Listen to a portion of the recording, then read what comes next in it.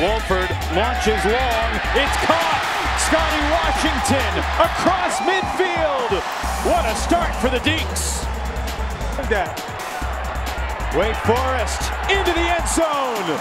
Touchdown, John Wolford. Hotline and you can throw it anywhere. You can make plays. Back in the hands of Dortch. He's got a seam.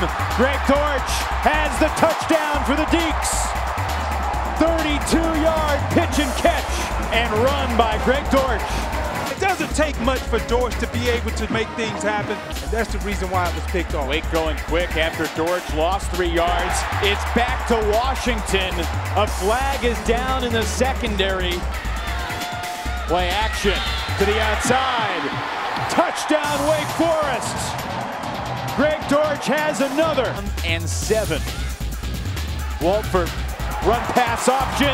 He'll take the pass. Greg Dortch with his third touchdown of the half for the Demon Deacons. What to do? Under pressure, they set up the screen. Guess who?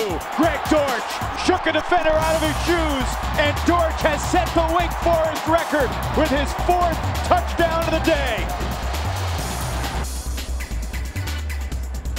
Wolford keeps it, and he looks to throw. Wide open downfield, Chuck Wade, the exclamation point for the Demon Deacons.